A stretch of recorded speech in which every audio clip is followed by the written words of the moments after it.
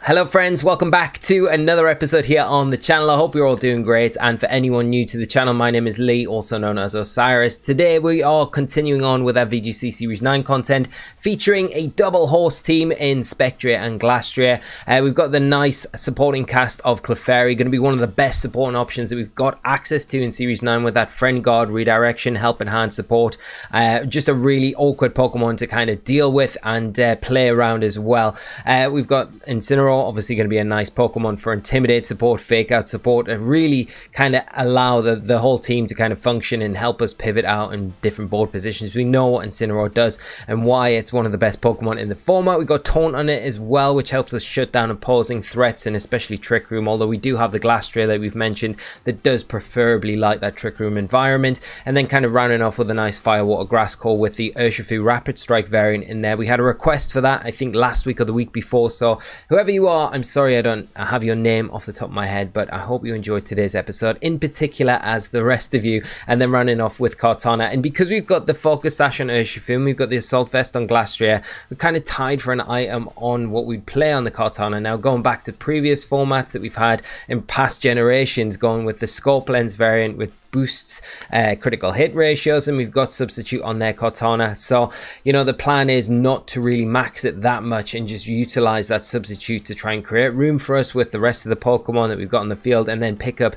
you know like key critical hits when we can as we can with Kartana and just be disruptive. And one of the biggest threats to the team is going to be something like Tapu Fini which is prominent in the format at the minute and Kartana can deal with it pretty easily as well as you know things like a Rillaboom that are going to pop up as well. And particularly if we see in Incineroar coming in, which can be a little bit difficult for us to deal with. We do have the Urshifu, of course, with that critical hit ratio, but if we can get Kartana in a nice position behind the sub, it's not immediately threatened by these fire types like it normally would be. So we'll see how the team plays. We'll have a couple of games with it. As always, there is a Pokepaste down below in the description if you want to try it out on Showdown or just take a look at the details, etc. Uh, and if you stick around till the end of the episode, we'll throw a rental up with the team. So, without further ado, friends, let's get into our first match of today.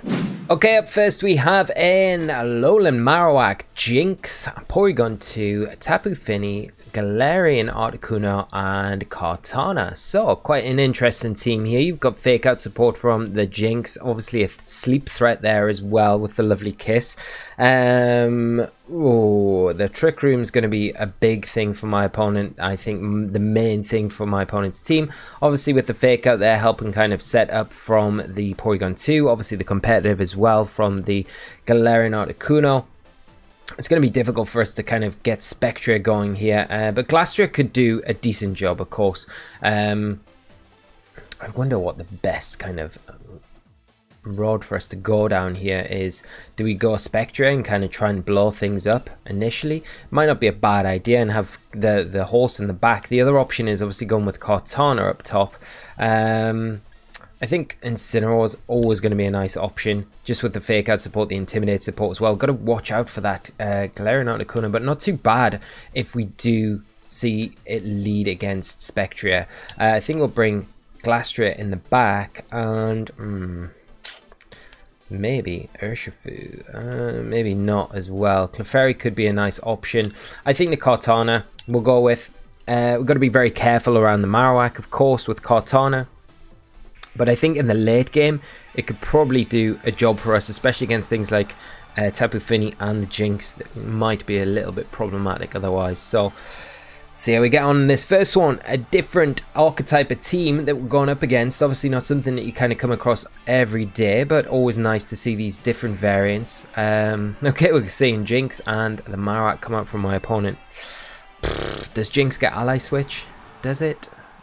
Urgh makes me wonder.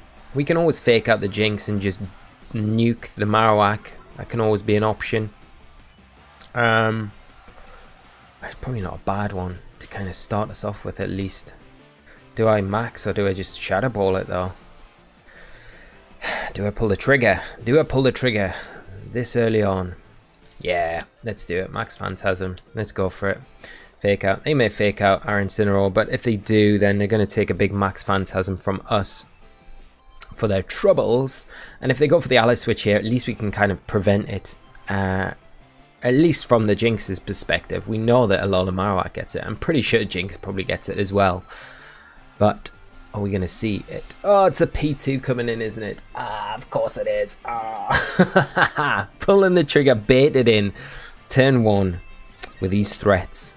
Not ideal. And we still got that ally switch threat going into... Uh...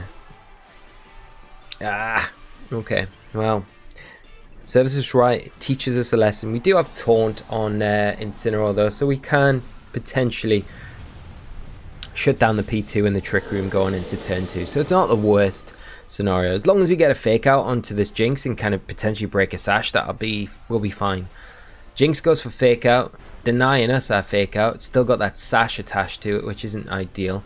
Uh, we don't affect the, uh, the P2. The problem now is, of course, um, mm, actually we could Max Strike, mm, Max Strike, Incineroar Probably not going to be able to outspeed the Jynx. Is a lovely kiss going to hit though? That's the that's the big thing.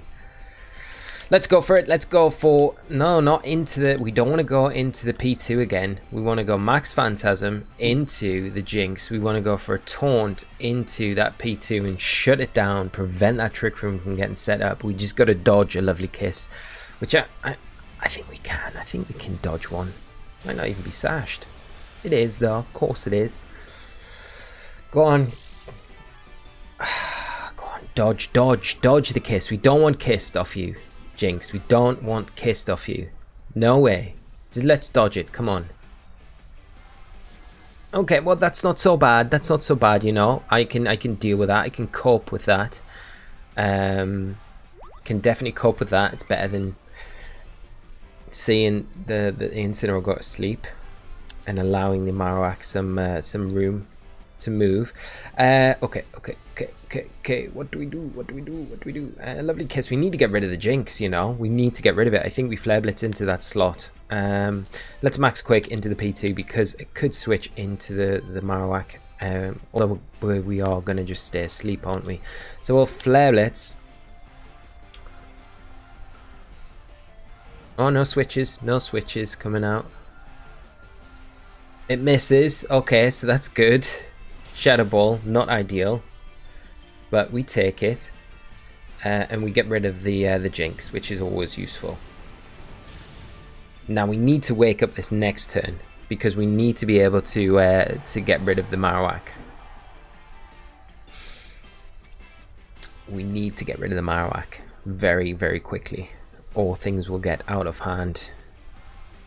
And I worry about the Marowak going after the Incineroar this next turn.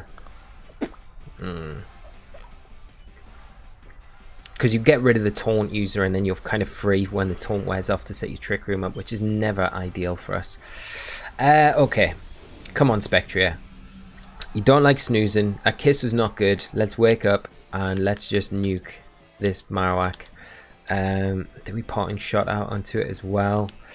Might be worth going for a parting shot out onto it to be honest because then we could potentially get Kartana in set up a substitute might create a bit of room for us, or we get Glastrier in. Uh, either or. Ah, the Spectre going to sleep is not ideal.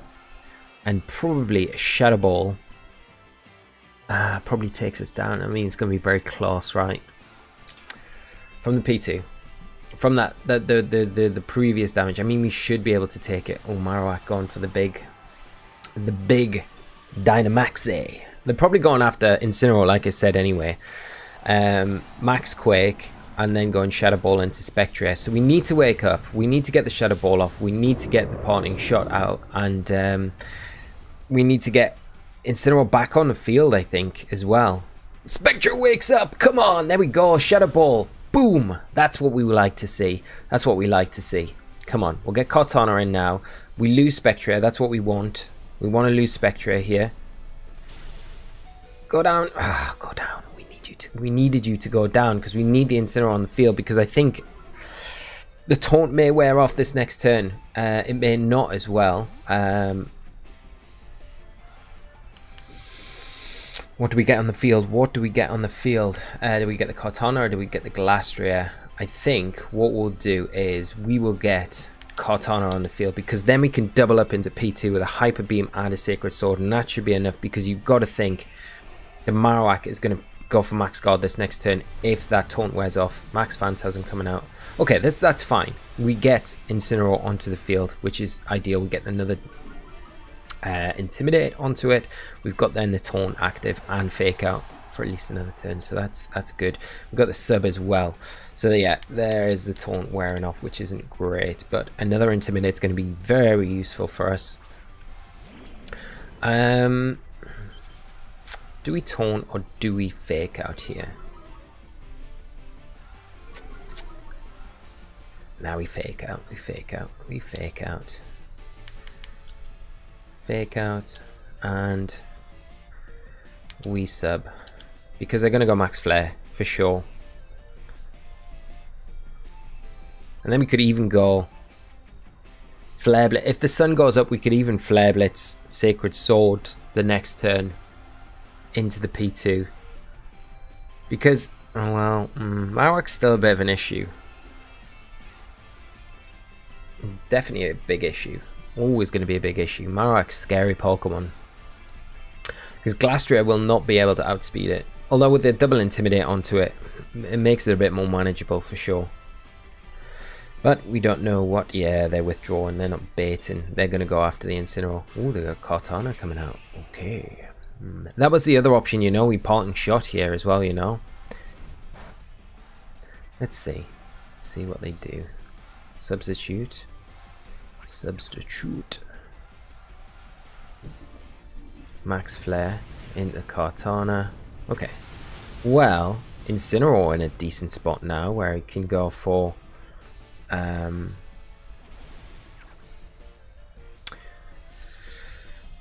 the Kartana. Is it sashed? I very much doubt it. Very much doubt it. We could go for another sub again. We would lose... Yeah, we'll go for the Kartana. And... Do we just detect? Mm, it's a bit risky. They have to double up into us if we go sub again. If not, they just get us. I think we sub again. Yeah, so we get a sub up. So we either have Kartana at the end or they Sacred Sword. Yeah, we should take this. Proca Berry. We'll get rid of the Kartana here, which is ideal. That makes things a lot easier for us. Um, do they go after the Incineroar here? Potentially. Potentially. I think that makes more sense. But if it do, if they do, that's the thing. We've still got the sub kind of intact. So, not the end of the world. And they go Max Quake into Incineroar. Yeah, so they're going to go after us. Minus two, though. Yeah, it is still enough. But we got Glastrier to come in. Uh, oh, with the sun up and a flare blitz it's still pretty yeah too you know we're not ah, we're not in the best spot by any means because because we we're just not in the best spot at all. I mean if they flare blitz us there's a chance. There is a chance. Actually what would we do? I think we I think we just we just high horsepower the Marowak here. Because I've got to be confident that we take... Yeah. Okay, I'm going to have to be confident that we take a Flare Blitz in the sun. Minus two. Minus two. You've got to bear in mind that it is bear... I don't know. I'm having second thoughts every second here whether we can do this. I do trust in Glastrier. I'm just not massively au fait with like Marowak calcs because I haven't played too many of them in this format. So against like with these new Pokemon, it, that's just you know, it's not an excuse. It's just reality. Like I'm just admitting that I'm uh, I need to do some Marowak calcs, and it, for good reason as well. I think it's a good point because Marowak seems to be picking up a lot of popularity recently. Uh, in the format, I'm just hoping this substitute attracts a bit more attention, and my opponent wants to get rid of it now. They don't want to set the trick room up when when Kartana's on the field. That's my big big thinking. Poltergeist, they double up. Okay, so we got it. Yeah, the substitute creating that much kind of distraction for my opponent Um, and the fact that Glastrier is probably feeling pretty threatened right now with the sun up, um, even though I felt pretty confident with the fact that we probably take it on minus two after the intimidate the parting shot, uh, it was enough. It was enough. So we can close combat and we can go for a sacred sword. And this substitute has kind of won us the game. So I'm really pleased to see it uh, doing some work here because it's it's maybe one of those sets where you look at and you think, is it worth running? But sometimes you know, like like we explained at the start of the video, if you're short on item choices and you really want that Pokemon in in your party to kind of utilize, there's always other options to kind of look at. You know, you don't have to be kind of stuck with just that one one option. As we see the Glastrier kind of picking up the win for us to kick us off today, which is excellent. So, nice one for us to kick off with today. Very good game to my opponent. Didn't make it easy for us. Sure, showed us the ways with that Marowak as well, how deadly it can be, even without the Trick Room support there. Um, but we can uh, jump into our next match of the episode. Okay, up next we have a Porygon 2 Regieleki, Dragapult, Incineroar, Glastrier, and Urshifu team. So pretty solid looking team. Um, not too heavy on the Trick Room, but you've definitely got a Trick Room switch in there with the P2, the Glastrier, so it's something that we need to be mindful of throughout this match. Very fast defensive modes outside of that with the Regieleki, the Dragapult, going to make it very difficult for us to um, to kind of function. Uh, but this is where Clefairy can kind of come into its own and really cause a lot of issues for my opponent uh, and make it difficult for my opponent to kind of go after things like Spectra if we do decide to go down that route. Uh, the other option is obviously Glastrier. We could go Clefairy Glastrier here. Um, we just need to be careful around the, the Incineroar that we could potentially see from my opponent. I do feel like Urshifu could potentially be a decent Pokemon for us here. Um, we've just got to manage it pretty well, you know. You can't allow the, the to be in front of the Regieleki because that will cause us a few issues, even though we do have the Focus Sash there. But in the right kind of environment, it can do some decent work, especially if that is the um, the the single strike Urshifu, because we match up against that pretty well. Okay, we run out of time. Let's go Spectrier, let's go Fairy, let's go Urshifu, and let's go Incineroar. Is that going to be all right? Yeah, it has to be because we're going to run out of time otherwise. It's a pretty solid team. It's going to be difficult for us to kind of approach. We know the threat, where they're coming from. Obviously, the Porygon 2, they're going to be the Trick Room threat here. Whether or not my opponent wants to go down that route, I don't know. Um, but the Dragapult always going to be an issue for us along with the Regieleki because the Regieleki can obviously support super well with things like Electro Web, which we can't get around with the redirection from Clefairy.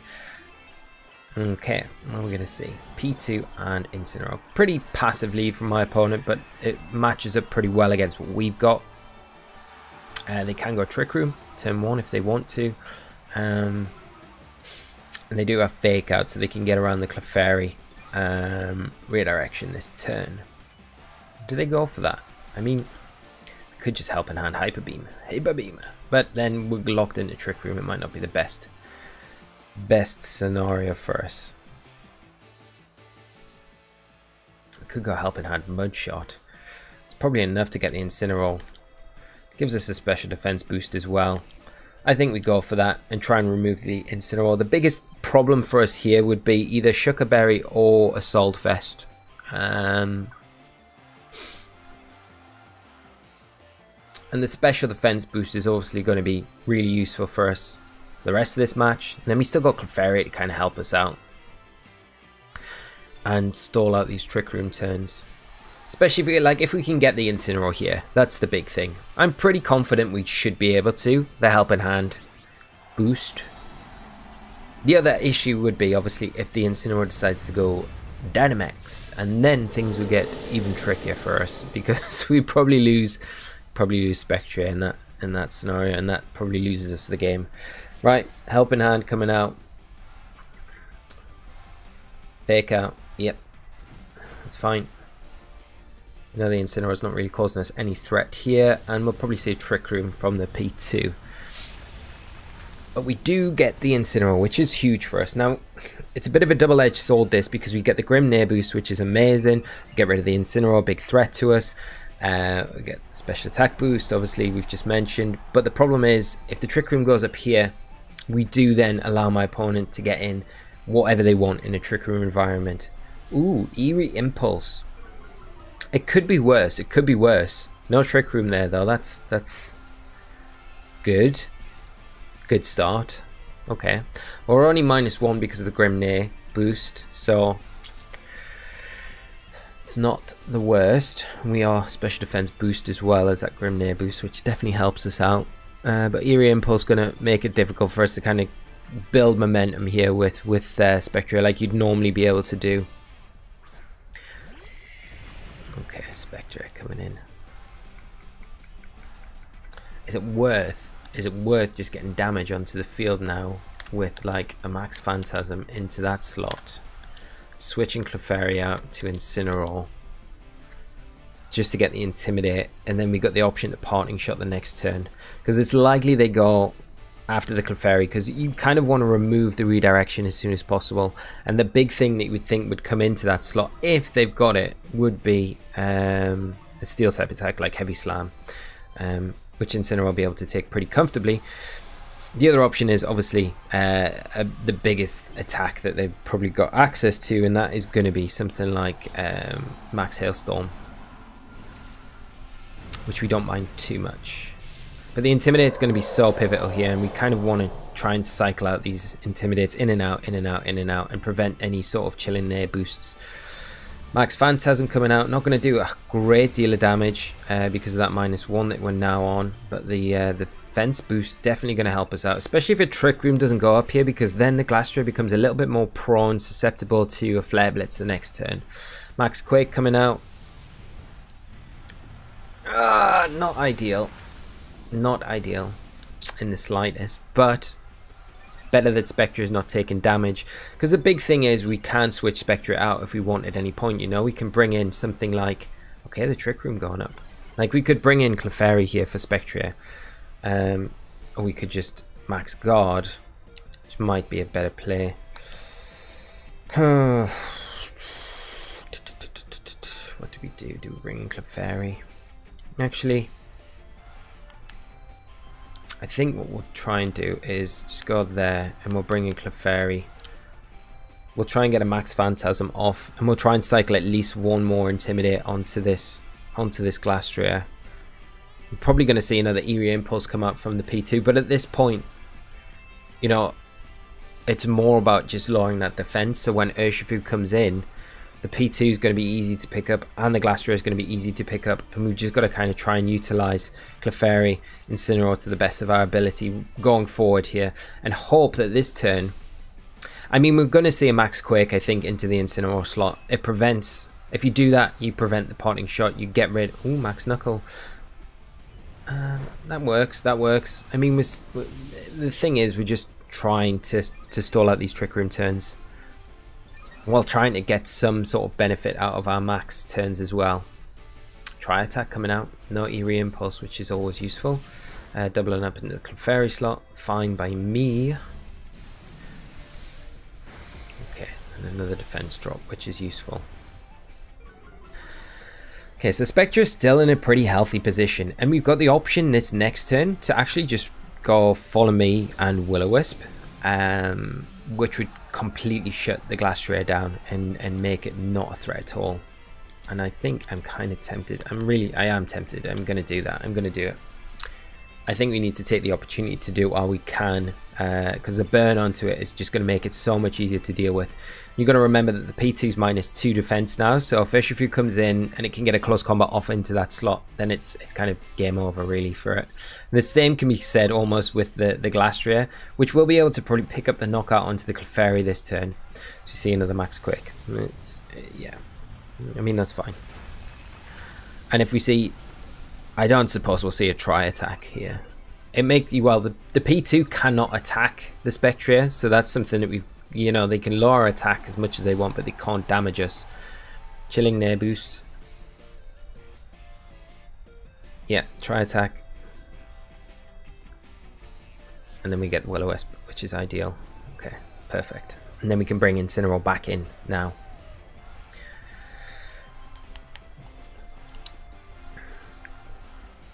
And then we probably want to switch Spectra for Urshifu, I think. I think that probably makes the most sense. Although it's risky because we don't really want to break the sash unintentionally. That's the thing. Um, but we do have access to this fake now, which is which is huge for us. So it does allow us a little bit of room because the P2 can't really attack into the Spectre, which makes it a little bit easier to manage. You get what I mean, because you're you're not going to Tri Attack into the Urshifu, which does almost give us that kind of free switch in. And how many turns of trickery we got left? Is this the last turn? Potentially, I think this is the last turn. Should have checked, but I'm pretty Pretty sure, pretty sure. We'll, we'll soon find out. It'd be nice in between these screens, you know, when you're on this screen, if you could just check the status. Is Trick Room still in play? Is the terrain still in play? Because it's not like you can affect anything, but it'd be nice to look at like field conditions. It's something that they could add in. Something I've always thought about, you know, once you've locked your moves, you can't even go in to, to look. And, you know, it's, it's pretty awkward because you have to wait till the, the turn then to see what the situation is. And that's fine and all, but you only have so long per turn to do that. Get the fake out into the Glastrier. And then the flinch there and the Tri Attack is going to be into Incineroar. Yeah. Which we actually managed to survive, which is perfect. Okay, so we're in a great position now. If the Trick Room does end, we're in a fantastic position. Which it doesn't, unfortunately. So, we can, I think, just protect here. Um, I think we can try. We can try and taunt the P2. I think that's not a bad play. Just protect, taunt. We could have switched into Spectra here as well, which probably would have been not a bad idea. Because then we get the Intimidate cycle once again. We get the Fake out once again. Uh, but I feel like once, you know, once the Trick Room's ended, the P2 either has to switch out which a taunt will help force us switch out, which will make room for us to deal with this Glastrier a little bit easier. Um, or the Spectre can come in and just cause havoc, because it's such a fast Pokemon. Yeah, it's a P2 going out. Okay. Ah, it's Urshifu. Huh. Okay. Well, could be worse. It could be worse. We survive with with 3 HP and get the taunt, which means it's not too bad. It's not too bad. It's not too bad. Uh, okay, well, I think what we'll do, because we can burn the Urshifu. I think what we'll do is let's let's just check. Let's just check this Urshifu. I know I should know. I know. I know. It is the water fighting type. Okay. Well, that means Spectre has got a way better matchup against it. We just go Surging Strikes into the opposing um, Glastrier, and we'll go for a we'll go for a parting shot as well. Try and get one. We're not going to get it with uh, with Incineroar, but then we get the free switch into Spectre, which is which is better, you know. And then we always have the option to go for something like Hyper Beam and close combat or Hyper Beam Surging Strikes into the, oppo the opposing Urshifu. It's not going to be like straightforward locking this up, but we should be okay. We'll be able to get rid of this Glastrier before it becomes a bit of an issue. And if my opponent tries to go after our Urshifu, we, at least we got the parting shot and then we've got Intimidate on top of that, which will help. But I think they'll go after the, the Incineroar here. No. Okay.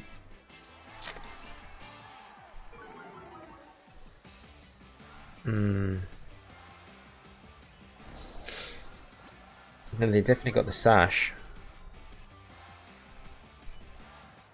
Okay, well, this just gets a little bit more tricky, of course, with everything so low. Um, oh. Alright, well. Because Surging Strikes probably gets Spectrier, but do you go that way? Do you go after it this turn? Because we could potentially Aquajet the opposing Urshifu, whereas they're going to Aquajet us. Um, yeah, they're going to Aquajet us. We can't protect, which is really annoying. Um, hmm. Okay, let's switch to Incineroar. And let's go Shadow Ball. I don't suspect Shadow Ball. It might be. it might be enough. You know, it, will be enough to take it down with Sash. Actually, the close combat um, drop will make it. Will make it so that we can get it, and then an Aqua will get it the next turn, and then just leave Spectre versus P2, which I don't know if there's going to be a way to do it past that point. Okay, there's the Aqua Yep. The, the, the best case scenario is going to be um, being able to see no sash here. Of course there's a sash. uh, okay, then we're going to need to win a speed tie, but maybe not. It's a trick and code. Oh, ah, not ideal. Not ideal. Not ideal. Okay. Uh, no, we've got Urshifu. We've got Urshifu left. Okay, this is going to come down to the wire. Now, I would have said like the Aquajet would have done the job there, but then reversing the Trick Room probably means that Urshifu faster than ours, which is not ideal. Um, I mean, we have to go for the Aquajet anyway. And we have to go for the Shadow Ball. Oh, do we? Do we though? Do we do that? Do we protect? Because they're probably going to go after Spectre now, but yeah, we have to Aquajet. We have to. We have to. And Shadow Ball is probably not the best play. I think like Mud Shot might be a better, better, better idea potentially. We get the Aqua Jet off, yeah, and at least you know they, if they go after Urshu, are they going to Eerie Impulse here though? That's the thing. There's Speed Tie, Tri Attack. They're going after Urshifu, so at least we get a free Mud Shot off, and now they're gonna they're gonna Eerie Impulse us to Oblivion. We get the Mud Shot, which is great. Do we get an... Uh, is it... Oh, their speed falls, which is not ideal. Hmm. Okay, we have to go. We've got no protect. They've got nowhere to damage us, though. So we can Will-O-Wisp them. We're going to end up... I think... Uh, yeah, we're going to need a crit Hyper Beam. crit Hyper Beam to do this. Hmm. Yeah, we'll probably end up like losing to our own recoil here, I think. Uh, even a uh, crit hyper beam would be enough, I think. A crit hyper beam would be enough. It would be enough, but I don't know if it's going to be. Can we? We can pray to the. We can pray to the Hax gods right now and say, "Come on, come on, just do do a do one for us right now. That would that would be that would be all we want. Big Spectre just wants this hyper beam. Come on. Crit, crit, crit, crit, crit. No, it's anything but a crit. It's terrible. And they're just gonna recover off the damage. Are they? Yeah, they're gonna like. I mean, they've got no option here. So at this point, uh, the video drags a little bit, so I'm just gonna speed this up as we try and pray to the RNG gods for that critical hit hyper beam, and uh, we'll just see how it unfolds. So I'm just gonna leave you with some music in theme of our praise to uh, to try and get this critical hit to close this one out.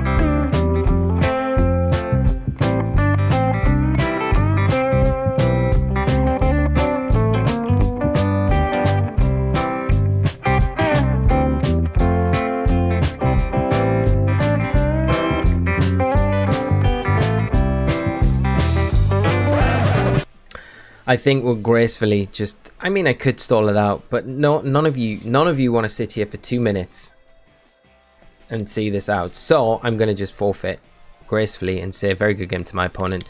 We are both in an awkward position. We're both going to play it out to the end. Grit our teeth, but I'm going to say good game. And we're going to wrap up this episode. But the team has been, they, you know, the team. We not got the second win there today, but it doesn't always, it doesn't always happen.